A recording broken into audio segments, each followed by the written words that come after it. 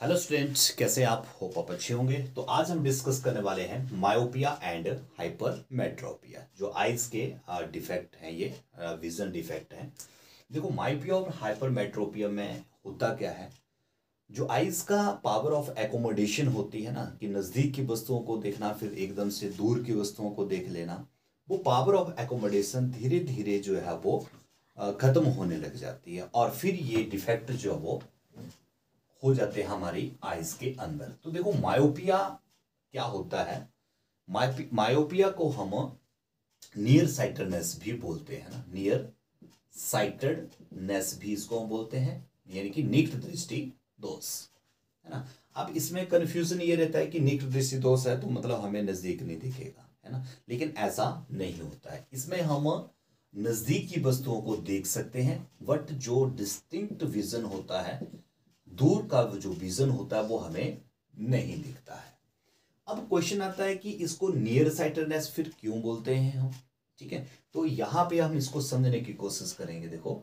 जैसे ये लेंस है हमारा आइज़ का, और यहाँ पे क्या होता है, ये जो नॉर्मल आइज़ अगर हम देखते हैं नॉर्मल आइज़ में अगर आप देखते हैं तो इसमें जो इमेज की फॉर्मेशन होती है, आपको पता है, वो होती है रेटिना के ऊपर। ठीक है? यहाँ पे जो नॉर्मल यहाँ पे इसको मान के चलो आप, कि ऑब्जेक्ट हमने यहाँ रखा तो इसकी इमेज की फॉर्मेशन कहाँ हो जाती है? नॉर्मलाइज में वो होती है रेटिना के ऊपर. लेकिन यहाँ पे क्या हो जाता है? नियर साइटेडनेस में मायोपिया में क्या हो जाता है कि जो इमेज की फॉर्मेशन होती है, अब वो रेटिना पे ना होती हुई, वो कहाँ हो जाती है? इससे पीछे ही हो जाती है नियर हो जाती है. नियर हो जाती है रेटिना के के लेंस के नियर नज़दीक ही हो जाती है। इसलिए इसको हम नियर साइटरनेस भी बोलते हैं। इस तरह से ये आपका प्रिंसिपल एक्स जैसे ये यहाँ पे होना चाहिए ना इसकी। इस यहाँ पे ये कन्वर्ज होनी चाहिए रेस और इमेज वहाँ पे बढ़ना चाहिए। बट ये कहाँ बन जाता है? यहाँ पे ये बन जाता है। ठीक है? और इसका, इसको फिर हम बोल देते हैं नियर साइटरनेस तो इसका जो इन्फिनिटी वाला पॉइंट होता है इन्फिनिटी जो होती है इसकी यानी कि जिसको हम फार पॉइंट बोलते हैं हमारा, आँखों का फार पॉइंट जो होता है that is near to near to infinity infinity से पहले ही, जैसे ये इन्फिनिटी का पॉइंट है हमारा, जैसे मान लो ओ ये इन्फिनिटी पॉइंट है तो ये कहाँ आ जाता है? नियर नज़दीक आ जाता है, यहाँ पे आ जाता है नियर टू इन्फिनिटी है ना? यहाँ पे ये पॉइंट जो हो आ जाता है। और जिसके कारण क्या हो जाता है? ये इसका जो कन्वर्जेंस होती है यहाँ पे, वो नज़दीक हो जाती है नियर जो वो हो जाती है है ना? इसलिए इसको हम नियर साइटरनेस जो वो बोलते हैं।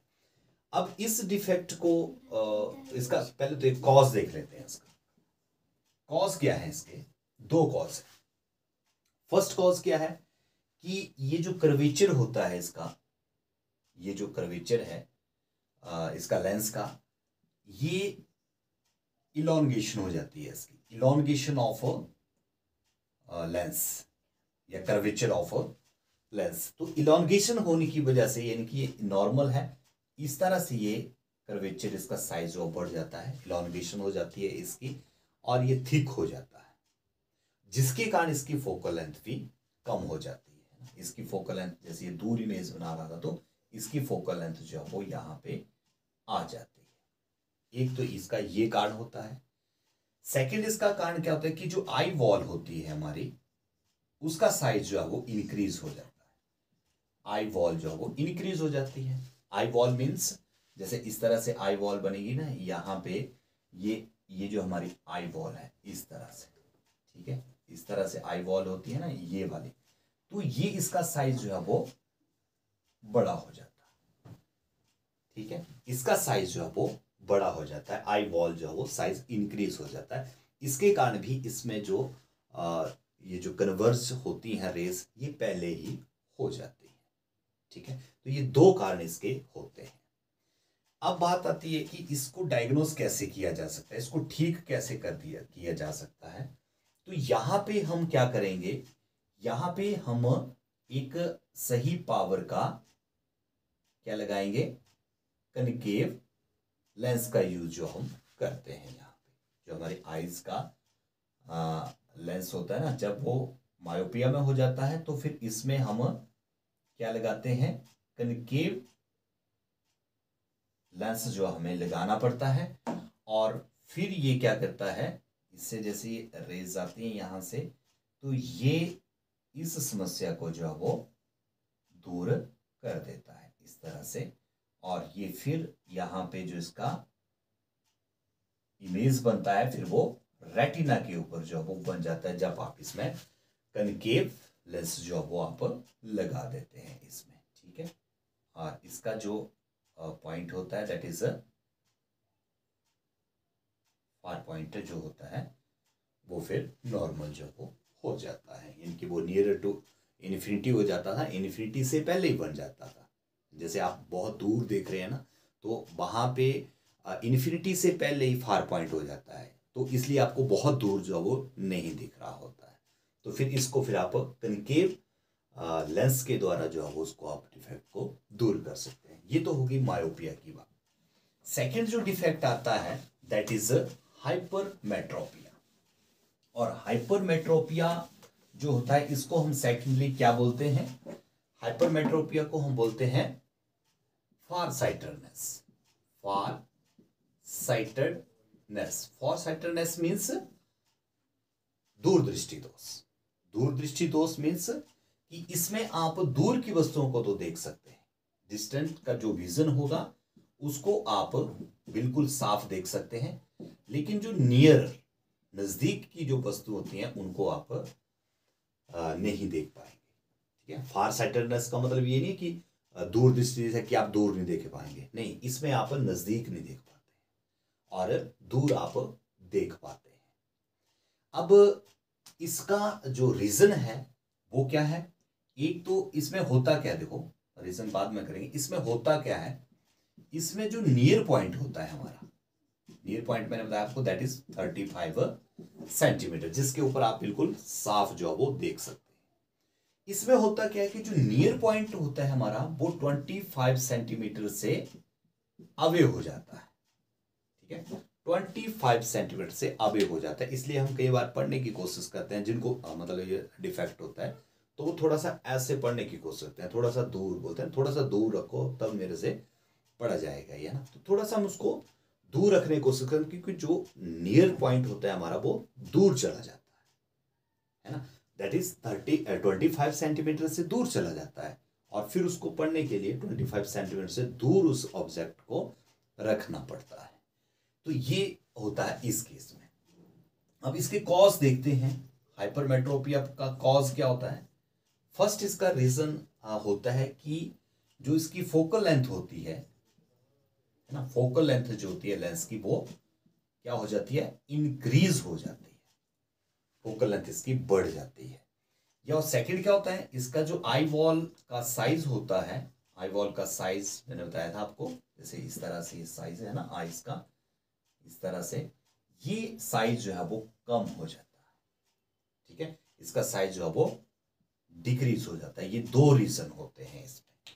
और बेसिकली होता क्या है इसमें? अगर आप इसको डायग्रामेटिकली समझने की कोशिश करें तो मैंने बताया आपको नियर पॉइंट जो होता ना? जैसे हमारे आईज का लेंस है और ये इसका प्रिंसिपल एक्सिस बना लिया मैंने। ये वो पॉइंट है जहाँ पे रेटिना रेटिना के ऊपर इसका इमेज जो वो बनता है।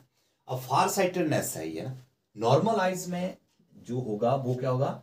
इमेज की फॉर्मेशन रेटिना के ऊपर होती है। नॉर्मल आइज़ में होगा ऐसा। ठीक है? और ये इसका जैसे नॉर्मल एंड दैट इज़ इसका uh, क्या बोला मैंने? नियर पॉइंट होगा नियर पॉइंट होगा that is twenty five centimetre अब ये नियर पॉइंट जो होता है हाइपरमेट्रोपिया uh, में ये दूर हो जाता है। कैसे?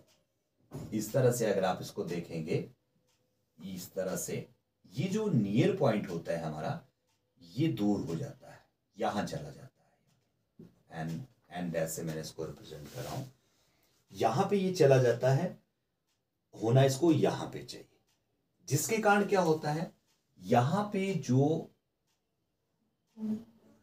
रेस ऑफ़ लाइट जो कन्वर्ज होनी है वो वो रेटिना पे नहीं होती है।